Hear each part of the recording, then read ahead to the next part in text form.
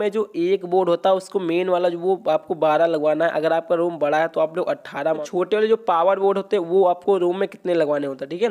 तो minimum hello guys कैसे हैं आप सब? मैं हुए तो आप देखें टीचर सो गाइस तो आज की इस वीडियो में हम आप लोगों को बताने वाले हैं कि आपको अपने रूम में स्विच सैकेट कितने लगवाना है और आपको अपने रूम में कितने स्विच बोर्ड लगवाना है, जिससे कि आपका सारा वर्क हो जाए और आपको कोई प्रॉब्लम ना हो। तो आज की इस वीडियो में हम यही बताने वाले हैं, आपको बिल्कुल सही जानकारी देने वाले हैं, जिससे कि आप लोग अपने रूम में मिनिमम में स्विच बोर्ड लगवा सकते हैं और आपका ज़्यादा खर्चा भी नहीं लगेगा और आपका सारा वर्क होने वाला है।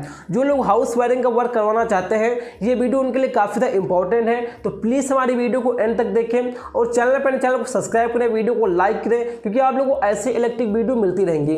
कोई भी क्वेश्चन हो, नीचे कमेंट बॉक्स में ज़रूर टाइप करें। हम नेक्स्ट वीडियो में इससे अच्छा समझाने की कोशिश करेंगे। चलिए इस आज का वीडियो को शुरू करते हैं।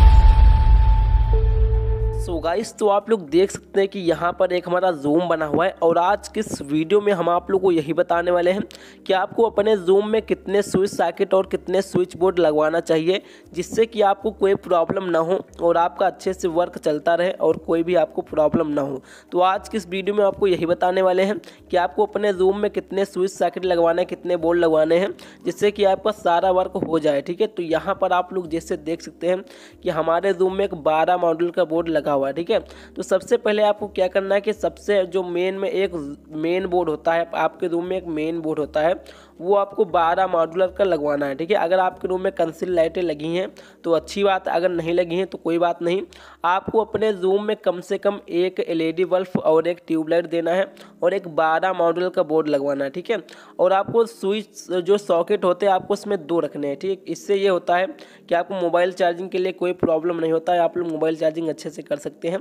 तो आपको अपने रूम में जो एक बोर्ड होता है, उसको मेन वाला जो वो आपको बारह लगवाना है। अगर आपका रूम बड़ा है तो आप लोग अट्ठारह मॉडल का भी लगवा सकते हैं।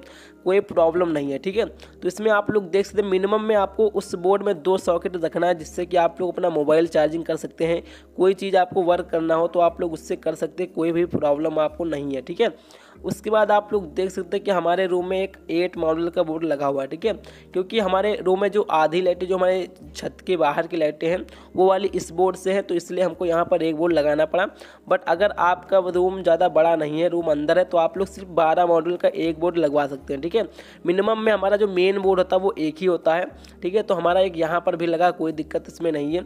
और यहाँ पर भी हमने एक सॉकेट को लगा दिया, ताकि अगर कोई हमको ज़रूरत हो तो हम यहाँ से भी इसको यूज़ कर सकते हैं, ठीक है? और जो हमारे ये मिनिमम वाले बोर्ड होते हैं इसमें हम छः एम्पियर के स्विच सैकेट को यूज़ करते हैं ठीक है? जो कि एकदम नॉर्मल है। अगर आप लोग को ज़्यादा लोडेड सामान यूज़ करते हैं तो आपको ये छः एम्पियर के स्विच सैकेट यूज़ नहीं करना है ठीक है? आपको ये चीज़ बिल्कुल ध्यान रखना है। आप, आपको वायरिंग करवाते समय कि आपको जो ऐसे जो मोबाइल चार्जिंग के लिए होता है वो आपको छः एम्पियर का स्विच सैकेट रखना पड़ता है ठीक है? उसके बाद जो हमारे छोटे वाले जो पावर बोर्ड होते हैं वो आपको रूम में कितने लगवाने होते हैं ठीक है? तो मिनिमम में दो बोर्ड लगवाने होते हैं एक आपको बेड के पास एक आपको ऐसे लगवाना होता है ठीक है? तो यहाँ पर आप लोग देखते हैं कि हमने एक बोर्ड अपने बेड के पास यहाँ पर लगाएँ। इससे क्या होता है कि आप लोग अच्छे से अपना मोबाइल भी चार्जिंग कर सकते हैं। अगर आपको मोबाइल चार्जिंग करना है रात में या कहीं पर कोई दिक्कत अगर आप लेते हैं तो आप लोग इससे मोबाइल चार्जिंग बिल्कुल आसानी से कर सकते हैं, ठीक है? और इससे एक ये फ़ायदा है कि आप लोग इससे अपना प्रेस कर सकते हैं, ठीक है?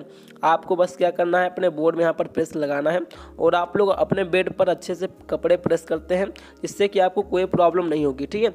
अब आपको यहाँ पर बता देते हैं कि कि यहाँ पर आपको सोलह एम्पेयर का स्विच सैकेट लगवाना है, ठीक है? क्योंकि इस पर हम लोडेड सामान यूज़ करेंगे तो हमारा ये सॉकेट जल भी सकता है।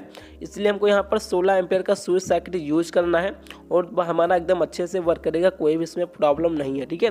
तो आपको ये चीज़ बिल्कुल ध्यान रखना है कि जो हमारे पावर बोर्ड होते हैं, उसमें आपको सोलह एम्पेयर का स्विच सैकेट यूज़ करना है, ठीक है? उसके बाद आप लोग देख सकते हैं कि यहाँ पर भी हमारा एक जो है स्विच सैकेट लगा हुआ है। जो कि आप लोग देख सकते हैं, ठीक है?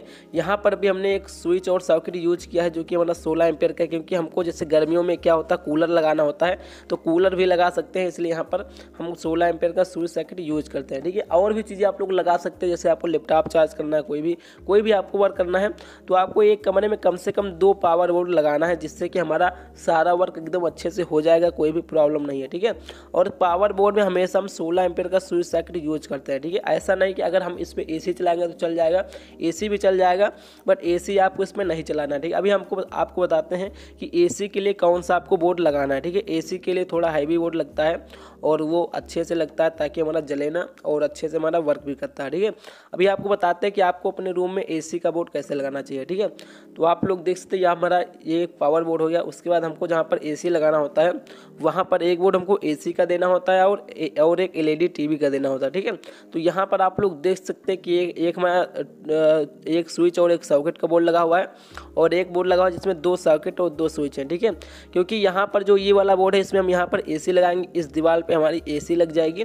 तो इसलिए यहाँ पर हम जो है एक स्विच और एक सॉकेट लगा दिए हैं।